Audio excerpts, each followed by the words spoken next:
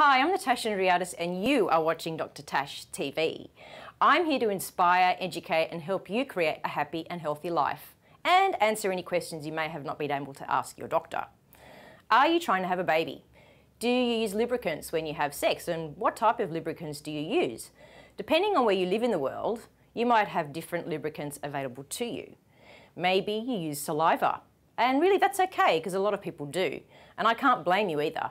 It's free and it's always on tap, ready to go. But hey, could saliva be harmful to sperm? In one study, saliva was found to cause the sperm to make shaking movements. Saliva causes an impairment in sperm motility and activity. It may actually reduce your chances of getting pregnant. Saliva can really shake up that sperm.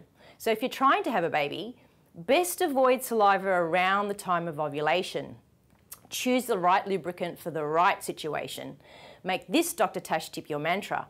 When trying to get pregnant, don't let saliva get in the way of your sperm's grit.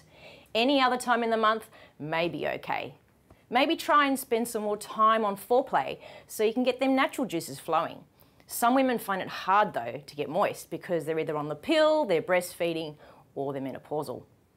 So if you need to use lube, and are trying to fall pregnant, then look for sperm-friendly lubricants. Studies to date show lubes like baby oil, canola oil, olive oil, coconut oil, and a brand called Pre-Seed may be okay. The less ingredients, the better, I say. Avoid lubes that contain fragrances and please don't use KY. Don't let them swimmers go to waste.